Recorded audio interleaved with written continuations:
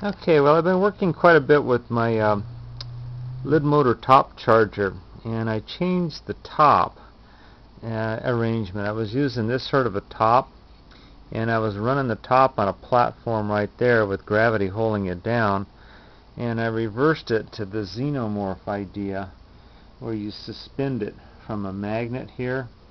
There's a, a neomagnet there and a neomagnet there and a screw that's got point contact on a little plastic disc between the uh, neomagnet and the screw.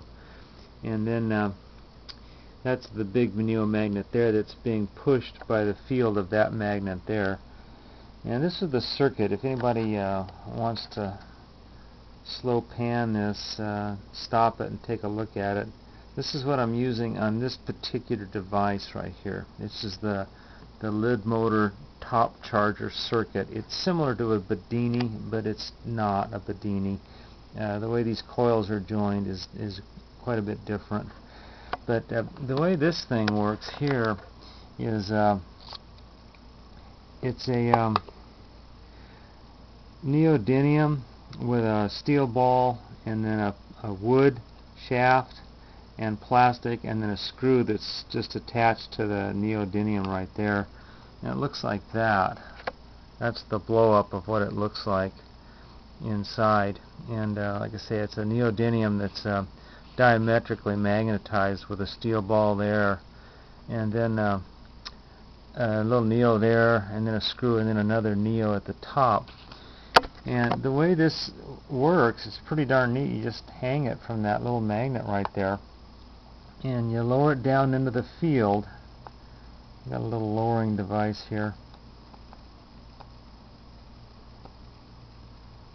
get it down to where it'll affect the the magnet because what happens here is this thing here triggers the the uh, energy in one of the coils on that bifilar which turns the transistor on which sends the juice to the other coil which turns the rotor there. Let me see if I can get it to go here.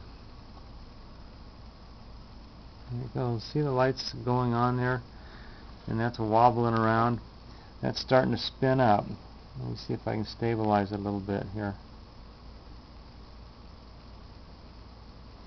Okay, now what I'm going to do is I'm going to raise this up out of the field a little bit to where it, um, in fact I'll just take it off. I'll show you how this works.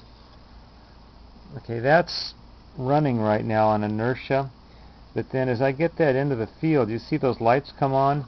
That's when it starts firing the coil and uh, that's actually spinning up. Every time I move that into the field those lights go on and that's firing the electromagnet and spinning this thing up. But that's uh, that's just running on inertia. Part of these designs have to do with kinetic energy and inertia and they carry it through the pulses because this is really a pulse motor right here and that's what's going on here. And I find that very interesting as uh, the kinetic energy aspect of these little pulse motors. Okay, I'm going to go ahead and attach this here and let it run on its own. Depending on where you have this, it wobbles around a little bit. You get it set up just right and it just sits there and spins. And uh, one thing I have to have here, something doesn't make any noise. Too many of my projects make lots of noise, and this one doesn't. But it's just a, like a Bedini. It's it's driving off one battery here, runs through the circuit, picks up back EMF, back spike, charges a second battery. And then I have a switch here to flip it back and forth between the batteries, and a little speed controller right here, which is the the potentiometer in the circuit right there, which controls the electricity going to the base of that transistor. But uh, I like this circuit. This is a, a, nifty circuit. It's like I said, it's like a Bedini, but it's not. It's um, kind of like a joule thief deal. And these little LEDs here I have found very, very handy because you can see when the coil is firing and how fast it's firing, and uh, uh, you can tell a lot by those uh, LEDs right there. Anyway, that's the latest uh, to do with my uh, Lidmotor top charger and the xenomorph idea of hanging the rotor from a magnet.